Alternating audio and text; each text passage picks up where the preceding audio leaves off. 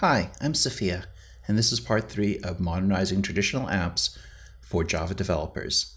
In the previous video, I moved a monolithic Java application from a traditional infrastructure of deploying an application server, the application database, into a container infrastructure where the application server and web app are deployed together as one unit, and the database is also deployed in a container.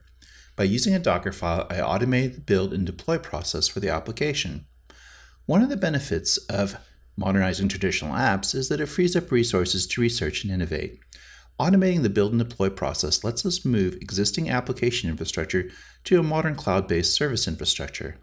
Part of the process of modernization is breaking apart the application into smaller components that are easier to maintain and test.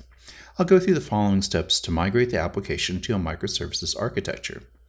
First, I'll leave the existing code in place and operation so I can roll back if needed. Next, I'll create a repository for the new code and design the new code as a separate application. I'm going to deploy the new microservices as a separate service, service using Docker, and I'll test the code. I'll update the existing app to use the new microservices and verify that everything works as expected by deploying to test and that a rollback is not needed. Then finally, I'll remove all unused code from the legacy application to clean up. In part 3, I'll fix a common problem with monolithic applications, the performance bottleneck created by writing to the database from multiple clients. We'll get around the bottleneck by adding a RESTful microservice that writes the user data to a Redis database and stores the information in a queue. If you're not familiar with Redis, it's an in-memory key value store that's great for saving abstract data types such as JSON lists. Note that I could use any other key value store in place of Redis, such as Memcached or MongoDB. To save the user data to the primary MySQL database, I'll add a worker service that reads the data from Redis and performs the writes to the database.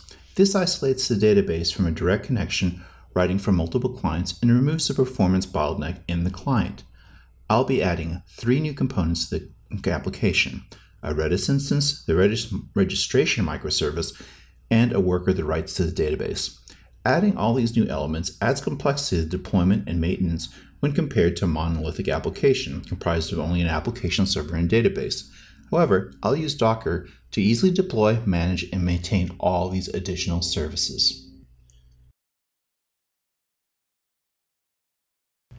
The application was originally written in Spring, but I'll write the registration microservice in Spring Boot.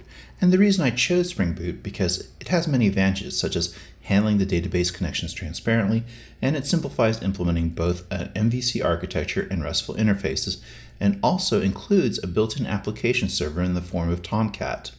Another factor in choosing Spring Boot is that it has good support for Redis. I could have chosen to use Spring as in the original application, but all of these advantages simplifies configuration and deployment. So when developing microservices, I want to write compact and easy to maintain code. The next piece for migrating the application to a microservices architecture is a worker microservice that retrieves the user data stored in Redis and writes the data to the application's MySQL database. The worker is a plain old Java object, or POJO, that pulls the data from Redis using the blpop method. This method allows the worker to pop the data from the queue without constantly checking the status of the queue. blpop works like a one-time trigger that fires when data gets, gets placed in the queue.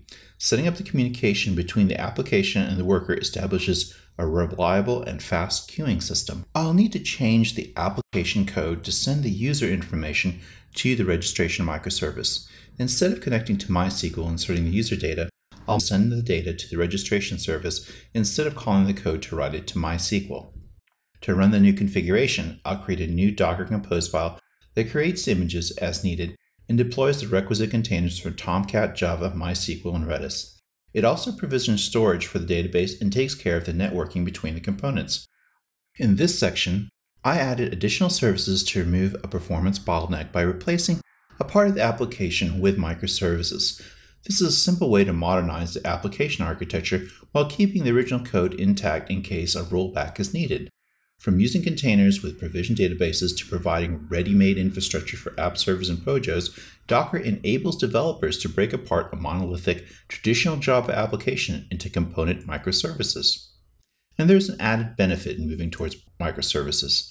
It supports adding logging and analytics without touching the application code. Docker makes taking the first step to transition to microservices easier. In part 4 of this series, I'll add logging and self-service analytics without touching the application code by using Docker. And if you want to get started modernizing your own app, head to Play with Docker, a training site which is an online environment with Docker configured that has a lot of great tutorials. If you want us to help you modernize your application suite, head to docker.com/mta to learn how we partner a Docker architect with an infrastructure provider such as Microsoft or Accenture to bring your apps into the modern world.